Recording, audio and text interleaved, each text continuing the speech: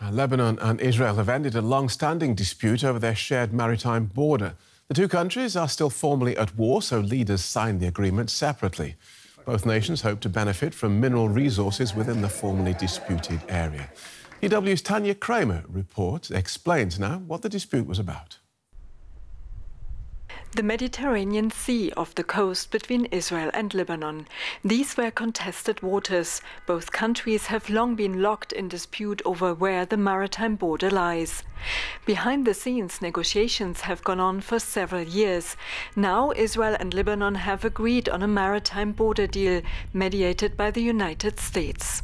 This agreement strengthens Israel's security and our freedom of action against Hezbollah and the threats to our north. There's rare consensus in the security establishment regarding the necessity of this agreement. The dispute is about a relatively small triangle shaped area, with each side claiming their part as exclusive economic zone.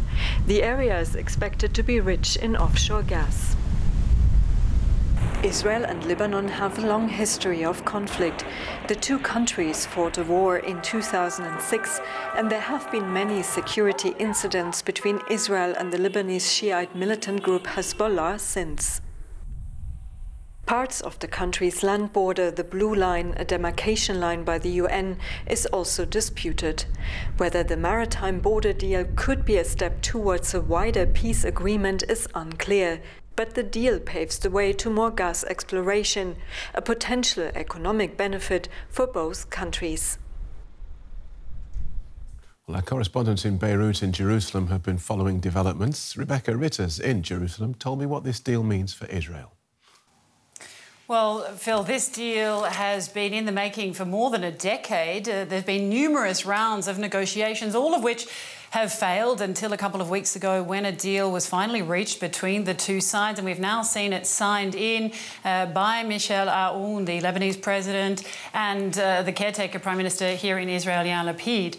Now, all sides, and in fact, it was a US brokered deal, all parties involved are calling this deal historic. I mean, let's not forget that these two countries, as you rightly mentioned, are still technically at war. Uh, they have no diplomatic relations. In fact, Lebanon doesn't even recognize uh, Israel as a sovereign state. So the fact that two countries in this situation could sign a deal like this maritime border deal is being heralded as a historic step. Uh, the benefits will be, of course, for both sides and very far reaching. For Israel, uh, for example, of course, there's political and diplomatic benefits.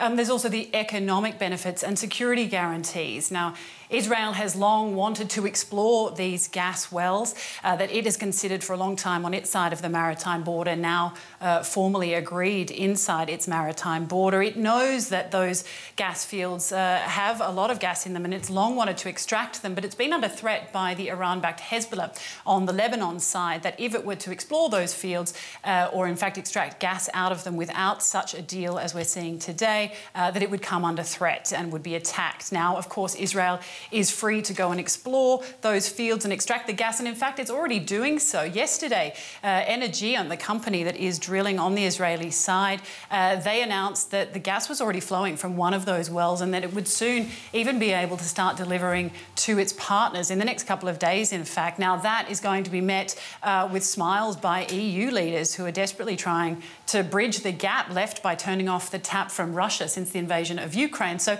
you know, the benefits from this deal are going to be very far reaching. For Israel, for one, though, it really says that this is a tacit agreement uh, by a sworn enemy. In fact, Yair Lapid said words to that effect as he was signing the document. As you rightly pointed out, that's not exactly how it's seen in Lebanon, but nonetheless, this is a very significant deal, Phil.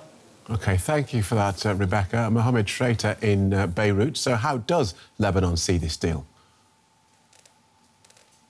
Well, it's it's a different it's a different uh, perspective. Uh, uh, definitely, uh, this morning the Lebanese president uh, Michel Aoun said that the agreement is purely technical and does not have uh, any political implications or effects that contradicts Lebanon's foreign policy and relations with other states. The two states are still technically at war. However, the agreement is expected to bring some stability to the area and opens the way uh, uh, for offshore energy exploration, as it removes a main source of potential conflict between uh, Israel and Lebanon, mainly the Iranian-backed, heavily group, heavily armed group uh, Lebanese Hezbollah. Uh, Lebanese officials are uh, hoping that this agreement helps elevate Lebanon's economic crisis. the country's economy has been in free fall for three years now.